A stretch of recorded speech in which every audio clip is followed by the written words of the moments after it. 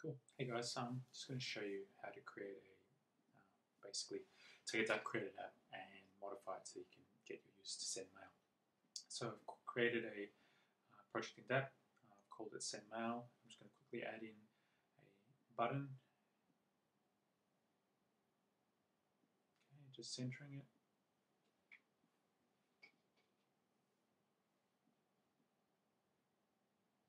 I'm just going to update the background color of uh, this view. Just uh, not a big fan of the white, that's all. Just a personal preference. Cool, just going to center the button. Cool. Now the next step is um, I'm just going to update the title, uh, make it something a little bit more uh, descriptive. So we're going to call it send mail, so the users know what they're clicking on, or know what the clicking on is going to do rather. And uh, the next thing now is we're just going to add in a basically a dummy action. This way, DApp will create the action method for us. It doesn't matter which action we choose, and then that action method is what we're going to modify to send the mail. So good, great. So that's done now, and we're just going to export that to code. Um, now, once that's exported, I'm going to create a uh, new empty application uh, project in Xcode, uh, which will see will be coming up right now. There we go. I'm just going to call that send mail.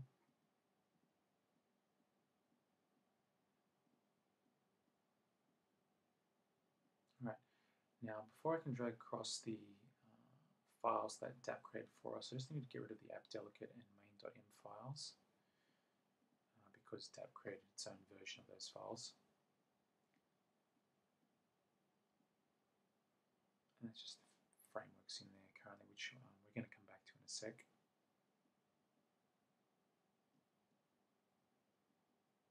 Just the files that DApp created for us. We just drag them in. Just make sure we create a copy of them.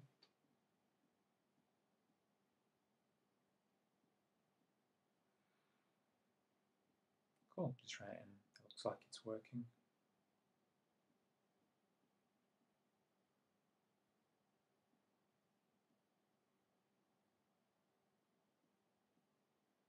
Okay, that's where we're going to be putting in our uh, code to open up the our mail object.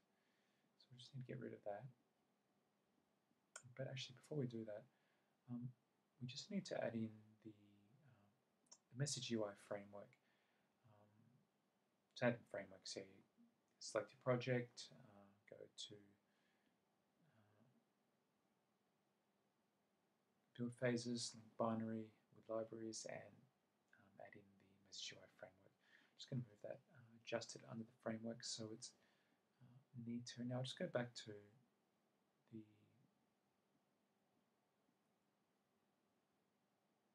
one sec. That's the one. Yep. So in our home view control uh, controller file, I'm just going to uh, before we can do anything, we need to also uh, import uh, the message UI header file. And here we're just going to add in the mail compose view control delegate. And basically what that is, that's the delegate that will let us uh, respond to events that occur uh, as the user sends mail. So great, we can get rid of that code now. And I've just copy pasted this code in here for now.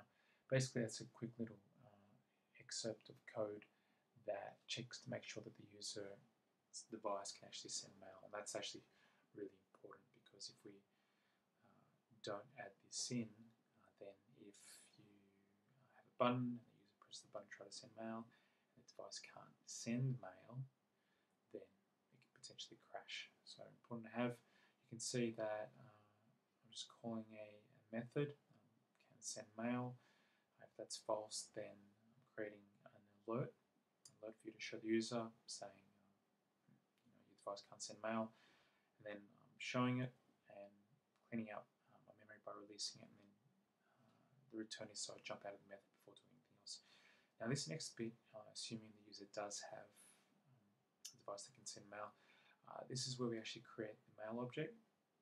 Now I'm going to go through and I'm going to show you uh, some of the options in here as well. Uh, primarily I'll be showing you how to uh, set a custom subject for the mail that the user sends. that you don't have to set anything say, getting a user to send you a help request, you know, or a specific email. So that's the subject there. Uh, that's the subject, my subject. Um, now down here we can also um, set the two recipients on the uh, mail.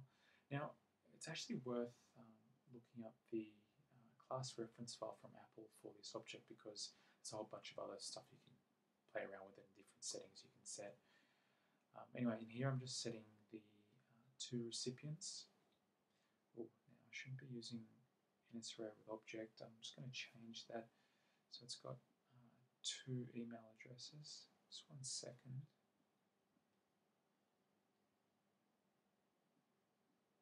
yep, just change that. And I'm just going to add in the second email address, just to zoom in there.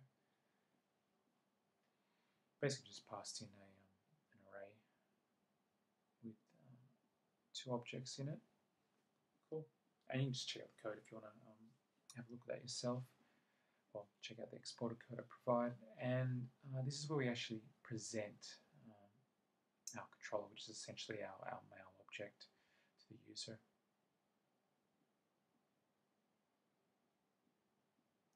Cool, that's basically it. That's all you need to do. Um, but what else we've added in though is we also need to respond to delegate events that occur uh, when the user uses the mail object. So I've just created, um, creating a new method in here. I'm just going to paste this in. Just saves us a bit of time.